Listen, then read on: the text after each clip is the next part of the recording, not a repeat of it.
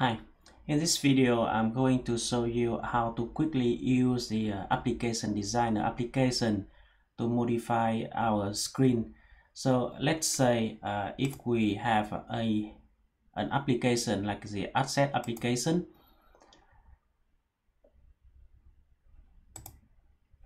And if we want to add one field into this screen for example we want to add one more field down here uh, then we can do that by using the application designers uh, uh, application.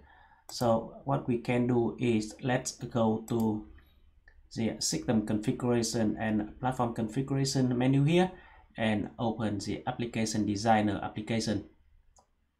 So uh, for this uh, tutorial series then I expect you have access to a Maximo environment and have the max admin account before uh, we can do the tutorial. So in this case uh, let's open it. Okay. So now we can open the asset application by entering a search here to find for the asset application and then we can click on it.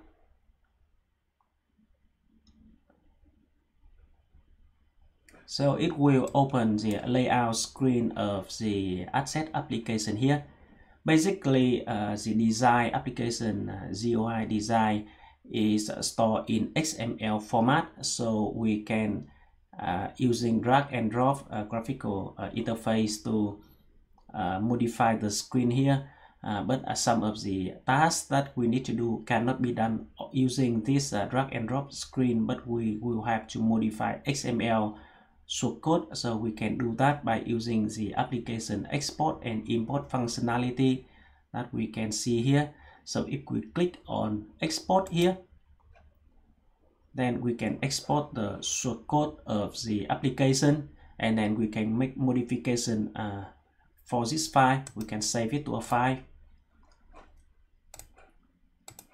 And then after we make the change to the file then we can import it back using the import function here so uh, that's how we modify uh, application in Maximo. So now I'm gonna do a very simple task of adding one field into the main screen of the asset application. So that's what I'm gonna do now. So up here we have a, a few menu.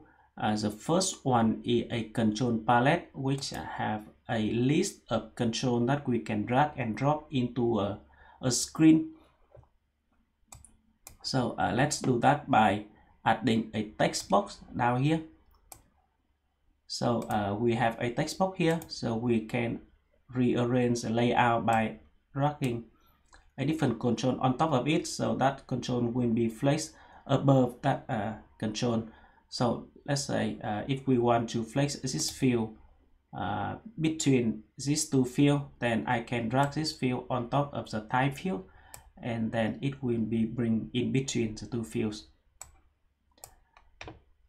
So now let's say we have a drag our text control here. Now we have to bind it with a database field uh, within Maximo. So uh, that's what we gonna do next. So let's say we going to add the same field as the type field here. So uh, what we can do is uh, this field is associated with uh, an existing attribute in the table. So we can uh, right click on this field and choose properties or we can use the menu properties up here. Yes, click on here and then we will open the same dialog. So I prefer to use by uh, open it by right click here and choose properties and then we can write down the uh, attribute or the column of the table that we're referring to. So in this case, I'm gonna put it an asset type or I can click on this uh, select menu here and I choose the asset object which is the main object of this application and then from here I can select a list of values or list of columns that I want I can display for this field so if we click on count number then it will show a calendar number. For example so let's go back and type in this field and uh, that's it. And then we can link the uh, front end uh, text box with a column in our asset table. And then we can click on save.